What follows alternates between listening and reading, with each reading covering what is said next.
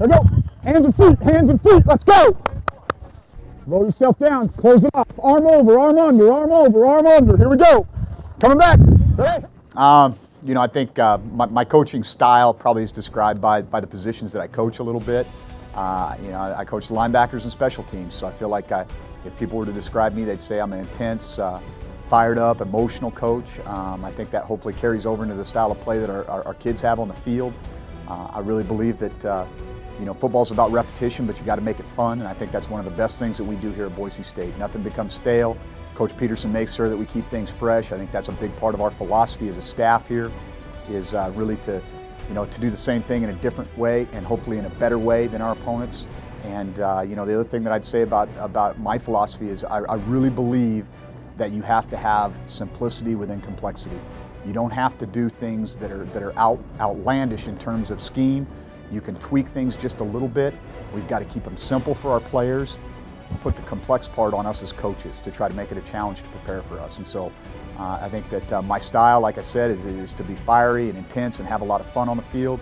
And uh, you know, philosophy-wise, I think that's that's the important things to you know be a good teacher, make sure our guys are progressing, and put a lot of pressure on our, our opponents. Go, go, go. Let's go. Rapid fire. Finishing balance. Finish in balance. Yeah, I think I think that there's a there's always a tendency to, to be a little bit more complex than you need to be. I think the kicking game I've always believed is 85% personnel and 15% scheme. And uh, it's not just the people that we're getting out there. We want to get the right people in the right spots. And one of the things that we have the luxury of doing here is really playing some of our best players in the kicking game, and I think that shows. Uh, as far as what I want to do, what I want our kicking game to be known for, you know, we want to be able to make game-changing plays, and that can happen in a number of different ways. That can be through blocking kicks. Uh, we we uh, were one shy of a school record in 2008 with uh, 11 block kicks on the year. That can be in uh, returns for touchdowns, which I think we've had eight returns for touchdowns in the last three years. Um, that can be, you know, pulling out a gadget play that's going to create momentum, as we did in the bowl game last year. So I think there's a number of different ways. But uh, one of the things that's become kind of a hallmark for our program, if I had to say one thing, is the hammer. That's really become something that's become emblematic of our program. And it's not just that blue collar work ethic, but it's that physical style of play.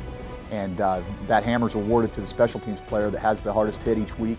And I think that's something that is, uh, is kind of taken on a life of its own in this program. And if we bring that physical edge to the kicking game, the explosive game changing plays are going to come because those guys are going to go out there, they're warriors, they light their hair on fire, they love to play on, on special teams, and uh, you know, it's not punitive here, it's something that's an honor, it's a reward to go out and represent the Broncos in the kicking game, and I think that's why we've been as good as we have been over the years. Colburn, intercepted. Winston Venable. And just like that, the new kid in town gets Boise on the board. I have uh, I have two areas that I recruit. Um, I have uh, the Sacramento area, which really I cover from basically Galt to the Oregon line, and uh, the Sacramento area has been a very very productive area for us over the years. Um, we've had some tremendous players, all conference players, all American players from the Sacramento area.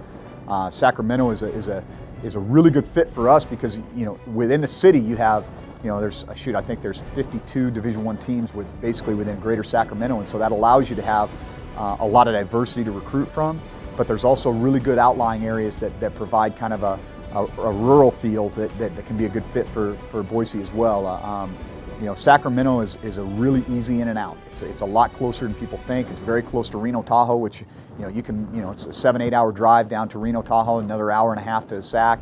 Uh, we have direct flights, so those things are always really important in recruiting. Parents can be very involved. They can get to the campus easily.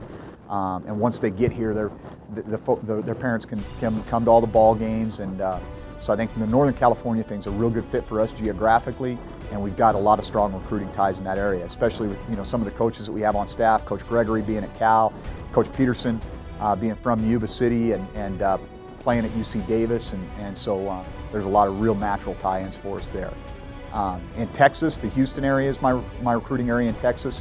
I think the, the, the level of readiness that those young men have because of the type of programs they come from down there really make it a great secondary area for us in recruiting.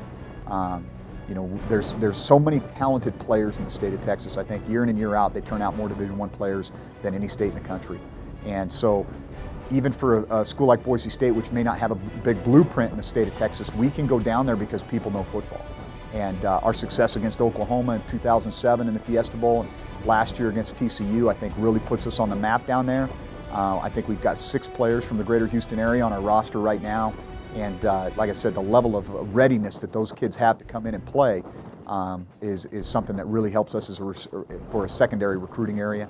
And uh, the kids that we've gotten from there have been tremendously su successful. You know, DJ Harper uh, was our leading rusher uh, through four games last year. Uh, George Iloka from uh, Sugar Land Kempner, you know, was a freshman All-American. And so we've got some guys that, that have kind of, you know, put our name on the map, so to speak, in the Houston area.